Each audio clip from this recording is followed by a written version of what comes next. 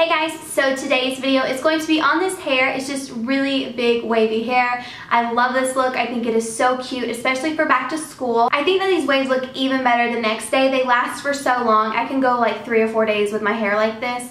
I love it and then if I want to put it into like a hairstyle it looks super cute as well and especially on like the third or fourth day it looks a little messy. The wand that I used is actually a new one. This is from NuMe, of course. I love NuMe and their products but this is a new one that they came out with. It's called the Pentacle Wand and what you can do is lock it in place and you have a 45 millimeter wand so it's really big. It's the biggest one that they have and then you can open it up and you have your deep waver and what I love about this waver is it is nice and big. So it's not going to give you those little bitty waves like you know how the crimpers were back in the day oh, we can't bring the crimped hair back. It's just not gonna work.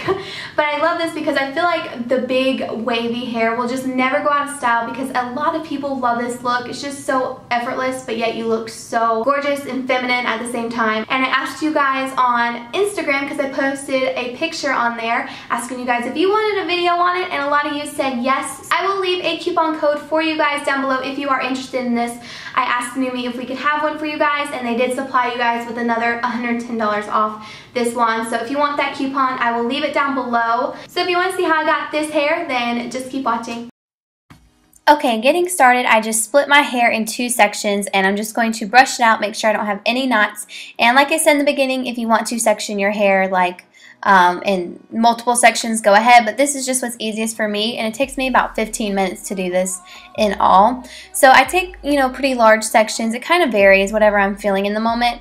And then I just clamp the wand down and hold it for a few seconds, and then release, and then clamp back down. And where you want to start is where your last wave ends. So it's really easy. What I like to do is kind of lift the wand up a little bit, and then when I sort of pull through, I feel my wave kind of come out of the curling iron and then I clamp again. But the easiest way is to just see where your last wave ended and then start back again. So wherever it curved down, you want to clamp right there at the very end. So it's pretty easy once you, you know, get used to it. It all kind of sinks in together. Even if you don't clamp it down right, it'll still look really great because it's just wavy hair.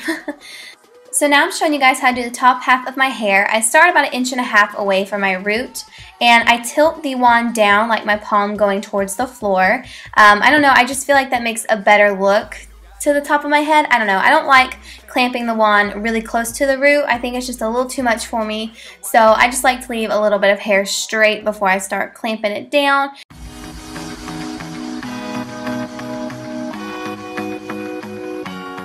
Then I just do that whole process on the other side of my head. It's really simple. I'm not precise about it. I just pick a section, clamp it down, and I'm done. And then I'll show you guys here in a second what I do when I've completed my whole head.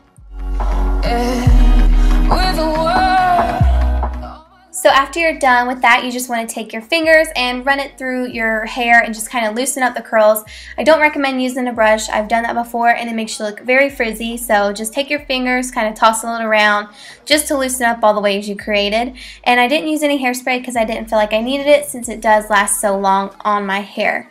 And that's pretty much it. I hope you guys enjoyed this video. Please thumbs up for more back to school videos. And if you have any ideas that you would like me to do videos on, then just leave it in the comments below. And thank you guys for watching. I'll see you in my next video. Bye.